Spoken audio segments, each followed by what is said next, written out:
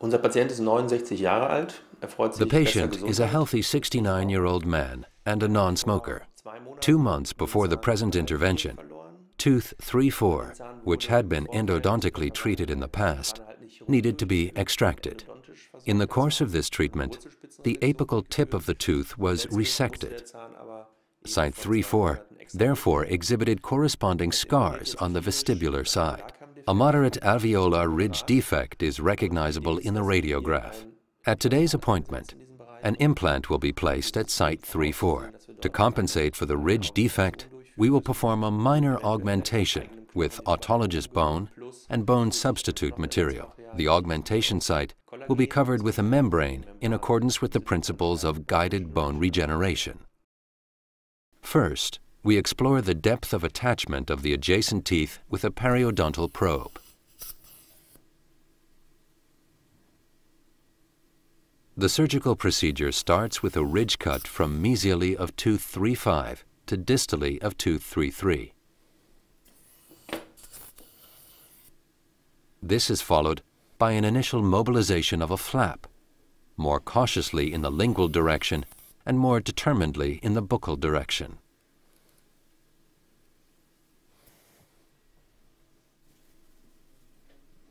A relief incision vestibularly of tooth 3-3, slightly offset toward the mesial surface of the root, allows further elevation of a mucoperiosteal flap.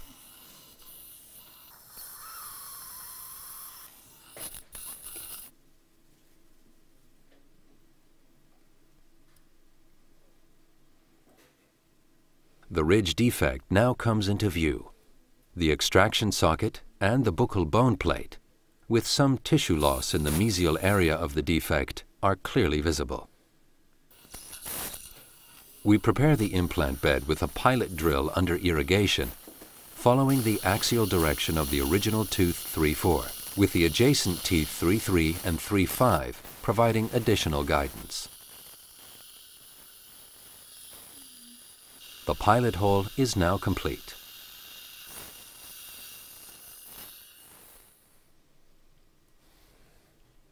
We finalize the implant bed with a concluding round of irrigated drilling.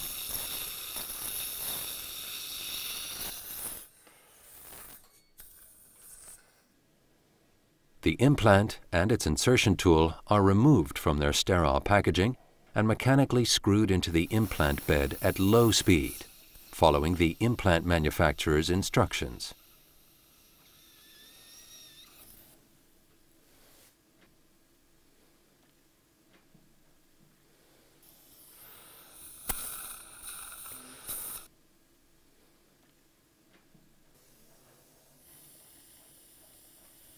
We now detach the insertion tool from the implant.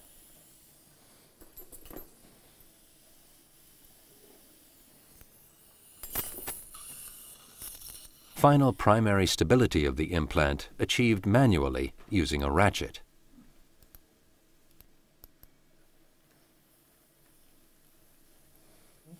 The implant shoulder is now located just above the bone level. The implant is sealed with a cover screw.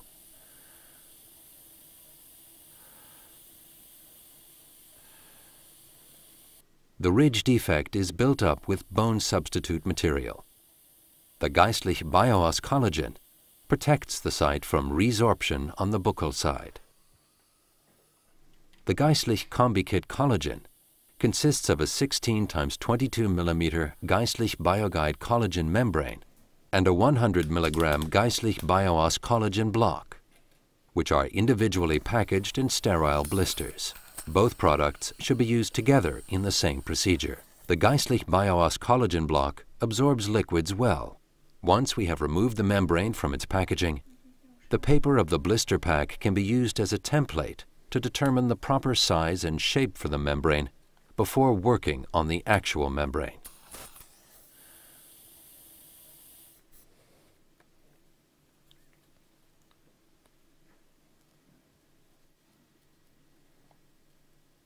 To this end, we cut the template to size and hold it against the defect to check its dimensions.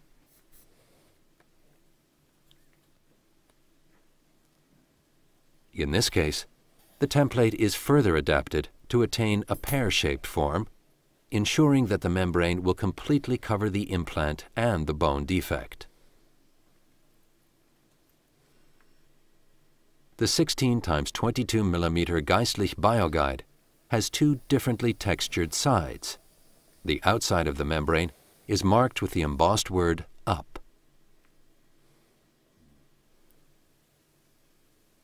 The shape and dimension of the template are now transferred to the membrane. The embossed up can be clearly seen here again. Once the membrane has been cut to match the template, its broader base is first pushed under the mucoperiosteal flap. The collected autologous bone is applied in close proximity to the implant. The Geistlich BioOss collagen block consists of 90% Geistlich BioOss granules. The remaining 10% is collagen, which holds the Geistlich BioOss granules in the block together. This collagen has no barrier function.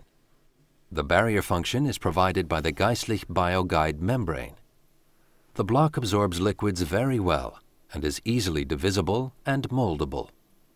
These properties make the introduction of the bone substitute material into the defect considerably easy. Here we have created a small disc shape, which, after its introduction into the defect region, may be further shaped and pressed into place with a suitable instrument, such as a bone rasp. The Geistlich BioGuide membrane is then laid over the Geistlich BioOss collagen. It covers the defect and is wetted with sterile saline.